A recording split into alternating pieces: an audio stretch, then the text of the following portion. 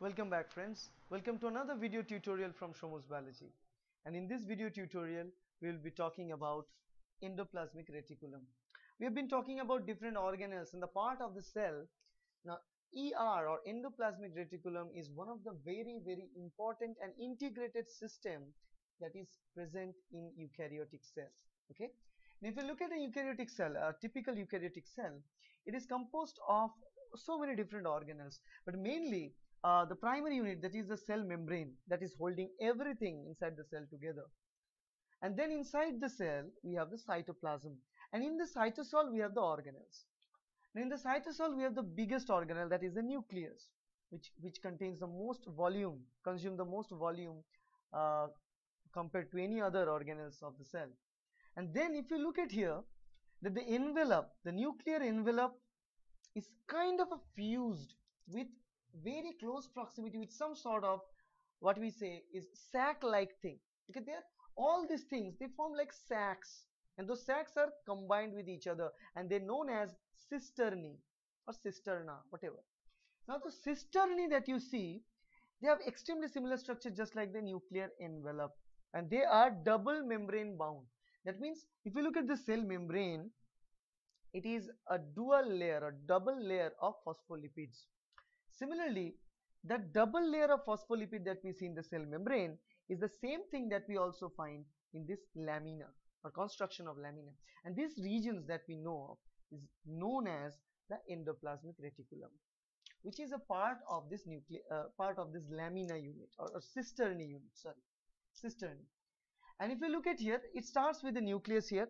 Nuclear envelope is also bilayer. Then very close proximity to the nuclear envelope. There are series of those cisternae attached one with another. If you see they are all attached from the beginning. Just like through tunnels they are all attached through all these places up till they sometimes fused with membrane itself. Okay? Now why so? And right after that if you just start with nucleus you go a little bit away from it you will find this endoplasmic reticulum. This is er and if you go a little outside of this, you'll find another similar structure, but smaller. This is known as Golgi apparatus or Golgi bodies. Okay. Now they have very similar structures because they involved in a very specific task where they all play critical role. Okay.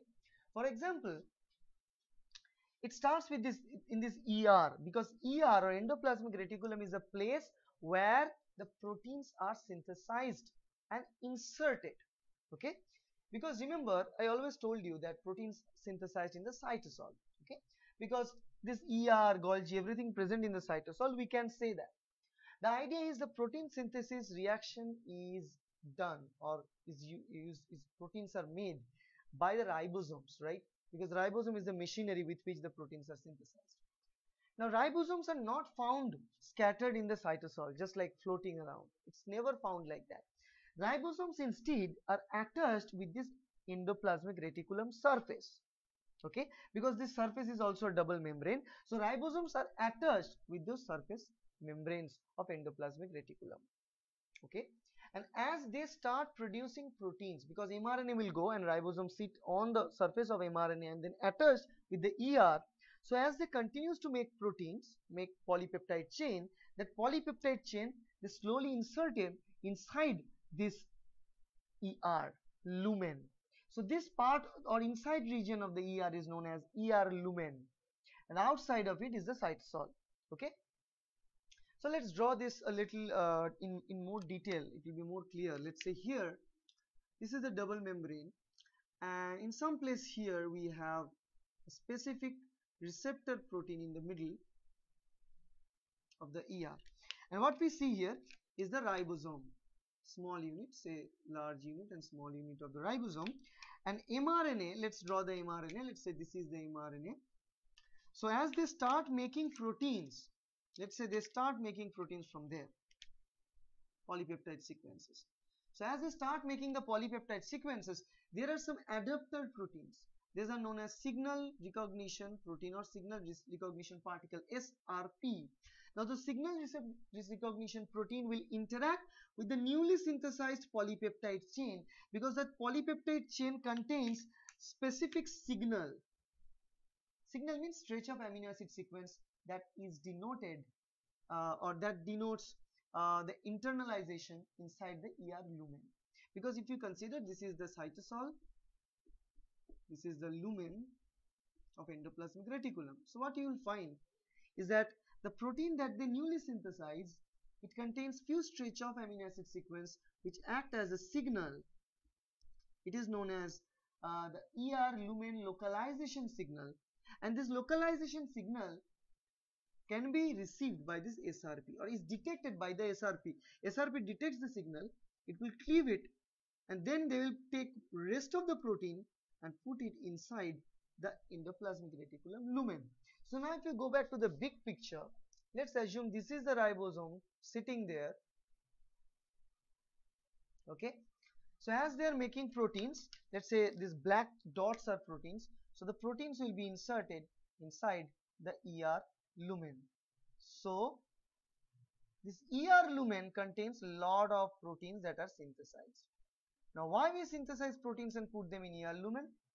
Because the proteins that we develop they are in the very straight simple format that is a polypeptide format.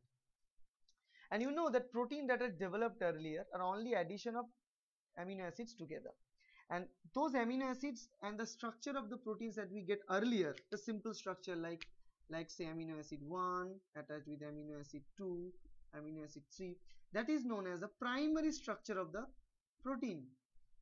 Now this primary structure of the proteins are folded to make secondary then tertiary then even quaternary structures right? So during this folding and unfolding there are further types of chemical modifications that go on all these proteins. And in fact most of the proteins now those chemical modifications are taken place in this Golgi apparatus. While the folding and slight chemical modification can take place in the endoplasmic reticulum lumen itself. So as I told you that they are organized in, in fashion because they have a specific task to do. And the task is to modify proteins. Once the proteins are produced, they modify the proteins, chemical modifications. And this is known as post-translational modification because the modifications are taken place after the translation, after the protein synthesis. Okay, so here, so ribosomes, if I draw ribosomes now here, you'll find let's say green dots are ribosomes. So you'll find a lot of ribosomes attached to this endoplasmic reticulum. Now the endoplasmic reticulum near to the nucleus contains a lot of ribosomes and stuff. Now those endoplasmic reticulum contains a lot of ribosomes sitting on the surface is known as rough endoplasmic reticulum or RER. It is known as rough endoplasmic reticulum. Why rough? Because if you look at the endoplasmic reticulum, you will see small beads attached to the surface. Those are ribosomes. So they are not smooth, filled with ribosomes, so rough. Now there are another version of endoplasmic reticulum also found in the cell which is known as smooth endoplasmic reticulum. So let me divide them and write the division here. One is rough known as RER and smooth SER. The smooth endoplasmic reticulum does not contain any ribosome. So any ribosome is not attached to the surface of that. Okay, so it's completely blank. It's smooth. Now the smooth endoplasmic reticulum that we know of is also very important uh, for some sort of protein or some molecule production not exactly the typical proteins. Because most of the typical proteins that we produce they are actually produced in this rough endoplasmic reticulum. While the smooth endoplasmic reticulums they also help in the production of phospholipids. They help in the production of sterols right? So these are the importance of smooth endoplasmic reticulum for the modification and storage purpose of steroids as well as storage purpose of calcium. Now the smooth endoplasmic reticulums most often are the highest reservoir of stored calcium inside the cell. Okay, so that is another functionality of the smooth endoplasmic reticulum. They store things there, store calcium, store steroids and stuff. And they also help in the production of steroids and phospholipids in small extent. So this is the role of ER. Now the idea is, as you know, the ER is in very close proximity to the Golgi apparatus. So what happens actually, once the proteins are produced, they are inserted into the ER lumen and they are properly folded there. Once they are folded, then those proteins will will be transferred to the Golgi apparatus for further chemical modifications. And Golgi apparatus is a place or Golgi body is a, is a proper organelle structure who can only not only take the proteins, they modify proteins and also sort the proteins. It's just like the post office for the cell. So they will drag all the proteins that are synthesized inside the cell. But remember among that protein population, some of the proteins should be destined to go inside the mitochondria. Some of the proteins are destined to go in, outside the cell as a secretory proteins such as some enzymes and factors. So they carry specific signals for that. If they need to transfer inside the mitochondria, they will carry mitochondrial localization signal. If they need to transfer inside the nucleus, they will carry nuclear localization signal. So this use the, with the help of this use of the this localization signals, Golgi apparatus sort all those proteins and then deliver those proteins to the proper destination. Then deliver the protein if it's destined to the nucleus, it will deliver. If it's destined to the mitochondria, it will deliver and do the job. So this is the idea of uh, how endoplasmic reticulum is working along with the Golgi apparatus to finally transport specific important proteins inside the cell and deliver it to its proper destination. Okay? So what happens how they crosstalk actually these Golgi apparatus are produced due to the extensive portion of the ER so whatever thing that we see in all them they are mostly just made up with same components because they are the extension units of each other now what what they will do is that uh, the proteins once the proteins are produced inside let's say the proteins are produced here inside and the proteins are inside the vesicle now the vesicle will go and fuse with the Golgi apparatus and they'll start making the Golgi apparatus bigger and bigger. So Golgi apparatus and this red vesicle will fuse with the apparatus.